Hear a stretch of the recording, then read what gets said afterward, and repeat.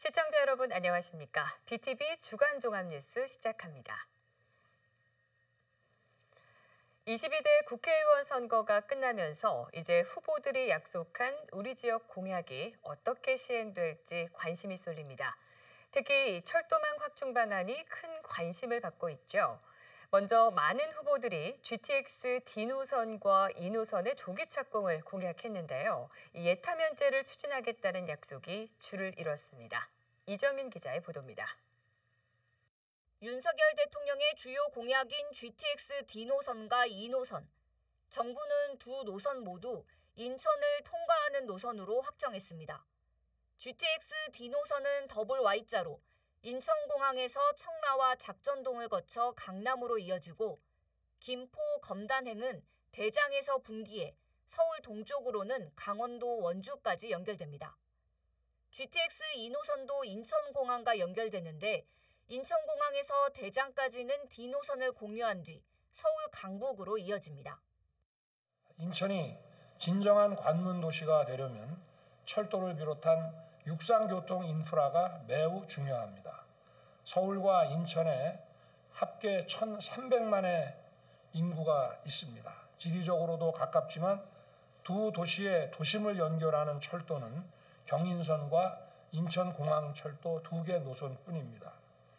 인천과 서울을 30분 내로 이어주는 GTX 사업을 빠르게 진행시킬 것입니다. 정부 발표 이후 치러진 4.10 총선. 22대 국회에 입성하는 당선자들도 핵심 공약으로 GTX D노선과 2노선 추진을 약속했습니다. 우선 배준영 당선인은 GTX DY자와 2노선의 예타 면제 추진을 공약했습니다. 하늘도시 지나는 전철 어, GTX DY 2노선의 예타 면제와 어, 공항철도 9호선 열차 운행도 조속히 해내겠습니다. 서구 지역 당선인들도 GTX D와 2노선의 조속한 추진을 약속했습니다. 김교웅 당선인은 빠른 추진을 위해 예타 면제를, 이용우 당선인은 예타 조사 면제와 당내 협의체 구성을 공약했습니다. 유치 확정이 돼서 요번 5차 국가 철도망 구축 계획에 들어가는데 예타 면제를 해야 빨리 진행할 수 있다. 이렇게. 계양구 지역 당선인들도 한 목소리로 GTX 추진을 약속했습니다. 유동수 당선인은 두 노선의 조기 착공을 위한 신속 예타 추진을 공약집에 담았고 이재명 당선인도 GTX-D Y자 노선 추진을 주요 공약으로 내세웠습니다.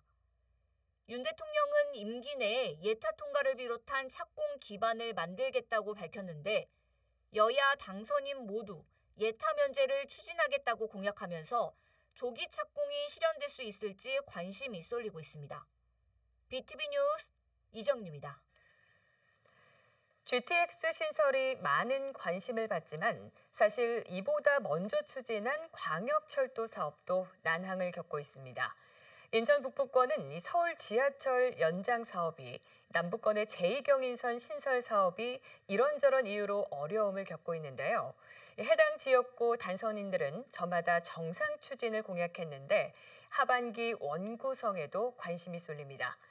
인천 당선인 중 절반이 국토교통위를 희망하는데 국토교통위원장 자리에 인천 출신이 오를 수 있을지도 관심입니다. 구혜 기자입니다. 서울행 전철이 없는 인천 남부권역. 서울로 출퇴근하려면 송내역이나 동암역에서 1호선 전철로 갈아타야만 합니다. 한참을 돌아가다 보니 보통 두어 시간이 소요됩니다. 대안으로 제시된 게 제2경인선. 하지만 차량 기지 이전 논란으로 백지화됐고 새로운 방식이 추진 중입니다. 시흥과 신도림을 지나는 대안 노선에 대해 사전 타당성 조사가 진행 중입니다. 이와 더불어 민자 사업자가 제출한 노선에 대한 민자 적격성 조사도 진행 중입니다. 청학에서 시작해 신현수, 도림, 서창을 거쳐 목동까지 이어집니다. 민자 적격성 조사가 올해 연말에 통과될 경우 2028년 착공도 가능할 수 있습니다. 더 이상 다른 지역의 사업과 연계하지 않고도 논현동, 도림동, 서창동 주민들에게 서울까지의 철도 교통망을 제공할 수 있습니다. 인천 북부권 공약에는 서울 지하철 연장이 담겼습니다. 서구을 이용우 당선인은 서울 지하철 2호선 청라 연장과 9호선 공항철도 직결 사업에 속도를 내겠다고 약속했습니다. 검단과 김포의 뜨거운 감자 5호선 연장도 공약에 담겼습니다. 서구병 모경종 당선인은 대광이 조정안에서 빠진 원당역과 불로역을 최종안에 포함시키겠다고 공약했습니다. 우선 정부가 내놓은 5호선 조정안, 불로 원당이 빠져 있는 그 조정안 절대로 받아들일 수 없습니다. 주민 목소리를 외면한 터무니없는 조정안이라고 생각합니다. 조속하게 인천 시안을 다시 관철시킬 수 있도록 앞장서겠습니다. 인천 남부권의 제2경인선은 민자 적격성과 타당성 조사 문턱을 넘어야 합니다. 인천 북부권의 서울 지하철 연장도 사업비 확보나 국토부 노선 결정 등의 선결 조건을 해결해야 합니다. 때문에 22대 전반기 상임위 자리를 두고 관심이 쏠립니다. 남동 갑 선거구에서 삼선고지에 오른 맹성규 당선인은 국토부 출신의 전문성을 더해 국토교통위원장 자리에 강한 의지를 드러내고 있습니다. 역시 삼선에 오른 계양갑 유동수 당선인을 비롯해 허종식, 배준영, 정일영, 모경종 당선인 등도 국토위를 희망하고 있습니다. 지역구 현안 해결을 자처하며 이번에도 국토위 선호 현상이 빚어지는 상황. 22대 국회 원구성에도 관심이 쏠리고 있습니다. BTV 뉴스 구혜입니다. 총선이 끝난 뒤 여소야대 구조가 이어지면서 연초 정부가 발표했던 재건축 재개발 규제 완화 정책들이 야당의 반대에 부딪힐 것이란 전망이 늘고 있습니다. 재건축을 기다려온 지역 주민들의 걱정도 늘고 있습니다. 북인천 방송 이관성 기자가 보도합니다. 정부는 지난 1월 안전진단 없이도 재건축 사업을 시작할 수 있도록 하고 30년 이상 재개발 노후도 요건도 3분의 2 이상 충족해서 60%로 낮추겠다고 발표했습니다. 정부가 대대적인 규제 완화를 예고하자 재건축 재개발을 바라온 주민들은 부동산 침체와 건설 경기 악화 상황에서도 기대감을 키웠습니다. 총선 후보자들도 여야 할 것 없이 재건축 재개발 규제 완화 공약을 들고 나와 선거가 끝나면 속도가 붙을 것처럼 표심을 유도했습니다. 하지만 총선이 끝난 뒤 재건축 재개발 규제 완화가 정부가 원하는 대로 이어질지는 아직 알 수 없습니다. 법률 개정을 위해 야당의 협조가 필요한데 22대 국회는 여전히 여소야대 상황이기 때문입니다. 12월에 발표, 작년 11월에 발표했던 노드 특별법과 또한 대통령께서 발표하신 패스트트랙 이런 부분들이 빨리 신속히 진행되기를 바라는 거죠.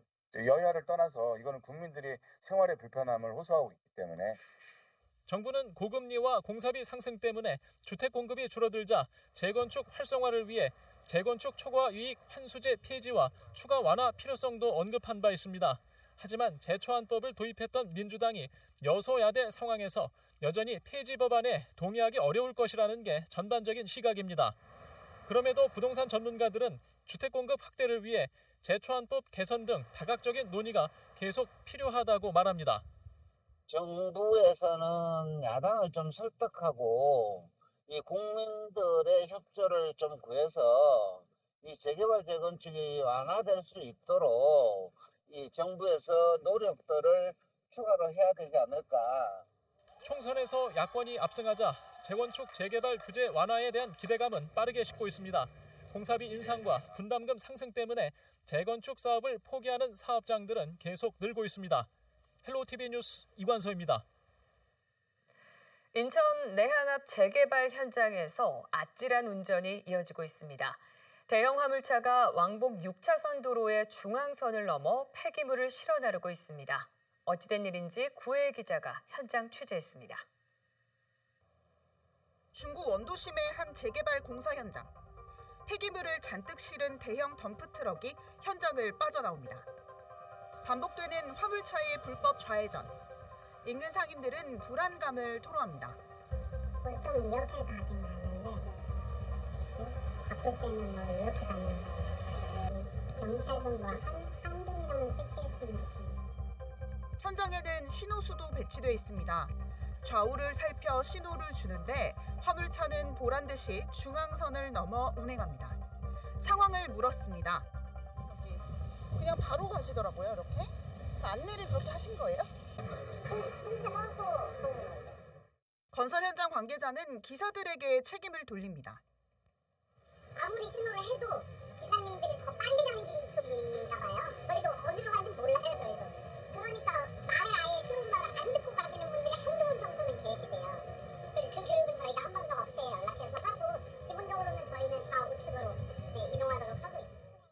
만약 중앙선 침범으로 중대한 사고가 발생할 경우 교통사고 처리 특례법에 따라 5년 이하의 금고나 2천만 원 이하의 벌금에 처해지게 됩니다. 인천 중부경찰서는 현장 영상을 근거로 건설 현장에 대한 교통 안전 점검을 벌일 계획이라고 밝혔습니다. BTV 뉴스 구혜입니다.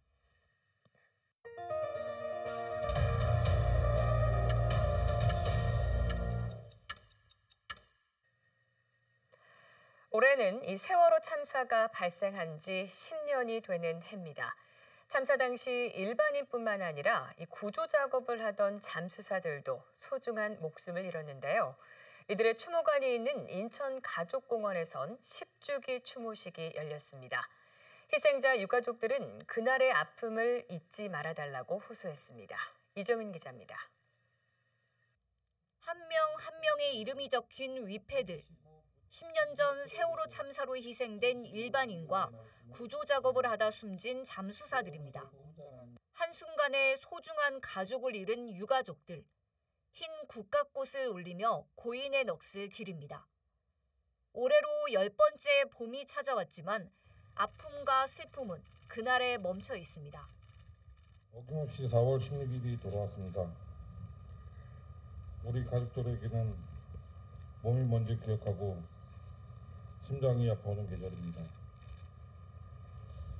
10년이라는 시간이 지났지만 어떤 이들에게는 아직 2014년 그날일 것입니다. 결코 잊을 수 없는 10년 전 그날. 강산이 바뀔 정도로 긴 세월이 흘렀지만 유가족들은 여전히 한 목소리로 외치고 있습니다. 참사의 온전한 진실 규명과 책임자 처벌, 그리고 재발 방지를 위해 그날의 아픔과 희생을 기억해 달라는 겁니다. 이제는 세월호를 넘어서 그들의 희생을 딛고 세월호 참사뿐만 아니라 이 땅의 수많은 재난 참사 혹은 사회적 참사와 그 피해자들에 대한 사회적 관심을 불러 일으키는 출발점이 바로 오늘이어야 합니다. 인천에서 제주로 향하던 여객선 세월호가 침몰하면서 304명이 희생된 대형 참사. 세월호 참사 10주기를 맞아 인천을 비롯해 전국 각지에서 추모 행사가 열렸습니다. 세월호 희생자 유가족 여러분, 그리고 추모식에 참석해 주신 국민 여러분, 정부는 앞으로 이러한 비극이 다시는 없도록 국민의 생명과 안전을 국정의 최우선에 두고 안전한 대한민국을 만들기 위해 최선의 노력을 다하겠습니다. 세월호 참사 10주기. 유가족들의 아픔이 온전히 치유될 봄날은 아직 멀기만 합니다. BTV 뉴스 이정입니다. 세월호 참사가 발생한 지 10년이 지났지만 이 참사가 남긴 상처는 아직도 또렷합니다. 특히 유가족들이 겪는 이 심리적, 정신적 트라우마 역시 현재 진행형인데요. 하지만 참사 10주기를 하루 앞두고 유가족들에 대한 의료비 지원이 중단됐습니다. 이런 가운데 이들의 의료비 지원 기한을 연장하는 내용이 담긴 세월호 특별법 시행령 개정안은 아직 국회에 계류 중입니다. 이어서 김지영 기자가 보도합니다. 10년 전 세월호 참사로 어머니를 잃은 김영주 씨. 제주도로 자전거 종주를 떠났던 어머니는 결국 싸늘한 주검이 되어 돌아왔습니다. 그날 이후 김 씨의 삶도 완전히 달라졌습니다. 세월호 유가족으로 살아온 지난 10년간 생업마저 미루고 참사의 원인을 찾는 일에만 매달렸습니다. 사고 초기 때는 일반 회사원이었고요. 2014년 4월 16일 이후로 아마 2, 3개월에서 조금 더 지나자마자 이제 이 일을 계속 해왔던 것 같고요. 해오다 보니까 이 사람들이 계속 빠지잖아요. 누군가는 해야 될 일이더라고요. 하지만 아직 달라진 건 없습니다. 진상규명과 책임자 처벌 문제가 해결되지 않았기 때문입니다. 마음 한구석엔 남은 가족에 대한 미안함만 남았습니다. 그 직장 생활을 한 6, 7년을 못 했거든요. 경제 활동을. 일을 못 했던 상황인 것 때문에 저희 두 딸아이가 하고 싶은 걸 좀 못 했어요. 뭐 미술 쪽도 있었고 뭐 여러 가지가 있었는데 그 부분이 이제 가장 어머니 그 돌아가신 거 다음으로 힘들었던 부분이에요. 아내를 잃은 충격으로 치매 증상까지 나타난 아버지는 병원에서 수년째 치료를 받고 있습니다. 하지만 세월호 10주기를 하루 앞둔 2024년 4월 15일 유가족에 대한 치료비 지원이 중단됐습니다. 세월호 특별법에 명시된 지원 기한이 종료됐기 때문입니다. 참사의 고통은 여전한데 치료를 멈춰야 하는 상황. 치료비 지원 기한을 연장하는 내용이 담긴 세월호 특별법 시행령 개정안이 발의됐지만 21대 국회에 계류 중입니다. 저희 아버님이 지금 4월 9일 날짜로 요양병원에서 요양원으로 옮기셨어요. 그 이유는 지금 의료 지원이 끝나는 시점이라 추모식 전날 의료 지원이 마지막 날로 정해져 있습니다.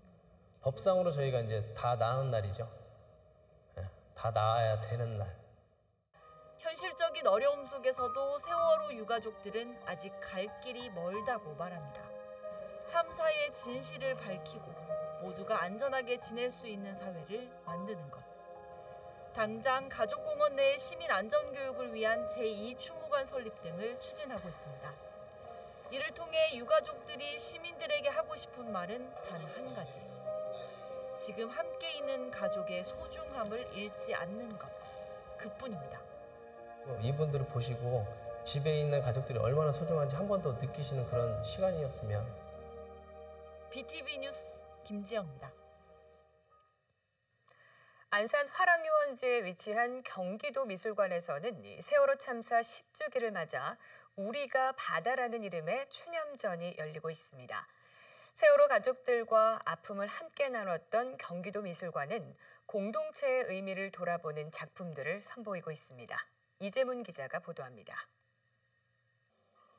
무너져 내린 삼풍백화점과 성수대교, 대구 지하철 화재 참사까지 우리 사회의 재난은 끊이지 않았습니다. 신문에 보도된 32개의 재난 현장이 사실적으로 묘사됐습니다. 세월호 참사 이후 바다의 아름다움을 그대로 보지 못합니다. 코발트빛 바다는 어둠으로 뒤덮였습니다. 사람의 발 모양이 켜켜이 쌓여 푸른 자연의 풍경을 그려냅니다. 하나하나의 발 모양은 마치 바다 위의 파도처럼 보이기도 합니다. 세월호 참사 이후 바다는 슬픔과 고통의 상징이 됐습니다. 하지만 바다는 생명을 품고 순환합니다. 우리가 바로 보는 바다. 우리가 바라보는 바다. 우리가 바라는 바다가 전시되고 있습니다. 어디서부터 잘못되었나? 우리가 어떤 사회에 살고 있는가? 우리가 어떻게 세월호를 기억해야 하는가? 무엇을 해야 하는가? 하는 물음에 대하여 각자의 목소리로 답하기 위해서 세월호 참사 정부 합동 분향소가 차려졌던 곳, 피해 가족들의 대책위 사무실이 있었던 곳, 단원 고등학교를 바라볼 수 있는 곳, 경기도 미술관은 그날 이후 10주기가 되는 오늘까지 지역 공동체로 피해 가족들과 함께했습니다. 전시를 통해서 기억하고 추모하는 것으로 그치는 것이 아니라 사회 재난을 대비하여 우리 사회가 어떤 방향으로 가야 할지 공동체로서 함께 고민해야 하는 그 성찰의 시간을 어, 가지고자 어, 합니다. 17팀 40개의 작품으로 세월호 참사 10주기를 추념하는 이번 전시는 7월 14일까지 안산 화랑유원지에 위치한 경기도 미술관에서 계속됩니다. BTV 뉴스 이재문입니다.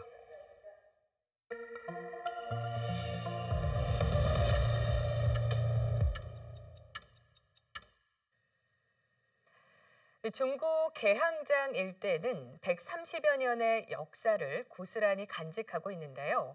인천시는 이 보존 가치가 높은 근대 건축물 일부를 복합 문화 공간으로 조성해 시민들에게 개방하고 있습니다. 다양한 공연 전시 프로그램이 인기를 끌면서 11만 명이 다녀가는데요. 원도심에도 활기를 불어넣고 있습니다. 이정은 기자의 보도입니다. 한옥 건물 안에 다양한 작품들이 전시돼 있습니다. 복합 문화공간으로 변신한 이곳은 1900년대에 지어진 인천 등록문화재 1호입니다. 일본식과 서양식이 공존한 건축물로 시장 관사로 활용되다 시민들을 위한 공간으로 재탄생했습니다.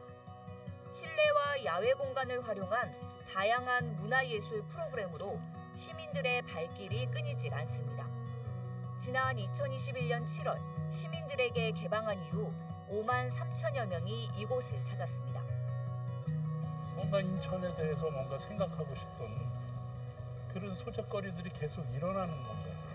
일반 대중과 어, 교류가 활발히 많이 일어나는 건가. 일반 전문 화랑보다도 더 이렇게 격이 없이 더 가깝게 밀착이 되는 그런 공간인 것 같아요. 신은동 옛 시장 관사도 시민들의 사랑방 역할을 톡톡히 하고 있습니다. 요가뿐만 아니라 해설이 있는 재즈, 문이나 체험 등 다양한 프로그램이 운영 중입니다.